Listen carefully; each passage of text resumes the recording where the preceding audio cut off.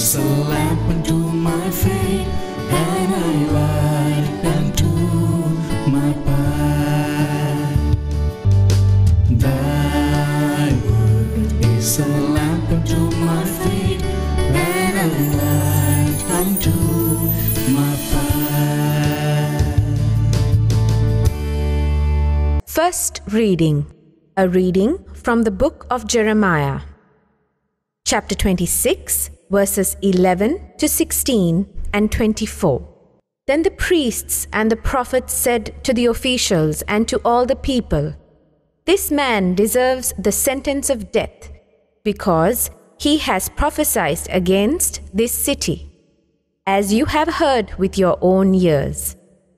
Then Jeremiah spoke to all the officials and all the people, saying, It is the Lord who sent me to prophesy against this house and this city, all the words you have heard.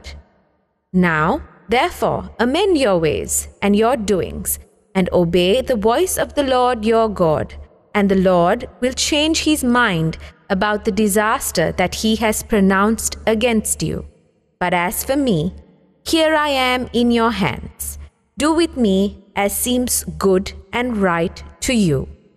Only know for certain that if you put me to death, you will be bringing innocent blood upon yourselves and upon this city and its inhabitants. For in truth, the Lord sent me to you to speak all these words in your ears.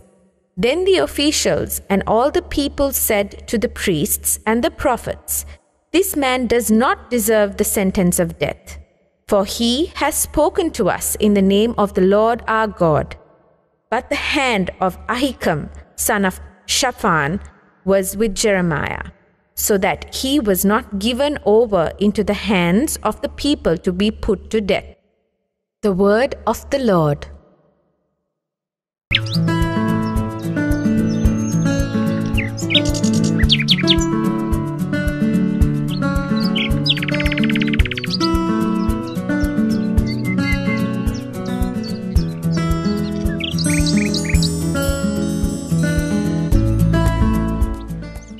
He who carries God in his heart bears heaven with him wherever he goes. The Holy Gospel of our Lord according to St. Matthew. At that time, Herod, the ruler of Galilee, heard about Jesus. He is really John the Baptist who has come back to life, he told his officials. That is why he has this power to perform miracles. For Herod had earlier ordered John's arrest, and he had him tied up and put in prison. He had done this because of Herodias, his brother Philip's wife. For some time, John the Baptist had told Herod, It isn't right for you to be married to Herodias Herod wanted to kill him, but he was afraid of the Jewish people because they considered John to be a prophet. On Herod's birthday, the daughter of Herodias danced in front of the whole group. Herod was so pleased that he promised her, I swear that I will give you anything you ask for. At her mother's suggestion, she asked him, Give me here and now the head of John the Baptist on a plate. The king was sad, but because of the promise he had made in front of all his guests, he gave orders that her wish be granted. So he had John beheaded in prison the head was brought in on a plate and given to the girl, who took it to her mother.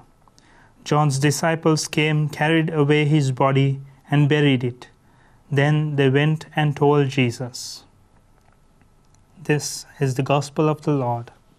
Today, being the feast of St. Alphonsus Liguori, let us speak of hell, which Alphonsus, as a doctor of the church and also a moral theologian, wrote extensively on this subject. Now, hell is something we choose. God does not cast us into hell. We cast ourselves into hell. This is what St. Alphonsus tells us. How is it possible? Well, very simply, if God is a loving God, He will never want any of us going, to, going into hell. Instead, because He has given us freedom, we choose hell and we go there on our own.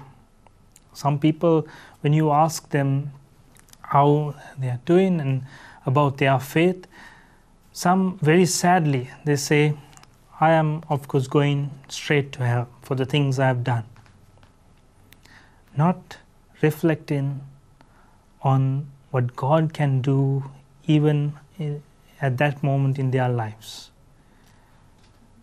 We might be thinking that we are destined to hell, but that is not our destiny. Our destiny is heaven.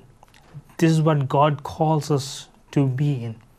And we need to know that if we are good, if we live holy lives, if we constantly go walk towards the Lord, as we have been reflecting this whole week, if we bring Christ into our lives, bring the kingdom of heaven, live the kingdom of heaven in our lives, and make sure people know that we are holy through our actions and through what we say and do. We will be destined to heaven. But if we disregard all of this and we say that we don't want to go to heaven and we go against God daily in our lives, then although our destiny is heaven, we choose to go against our destiny and we ourselves choose hell.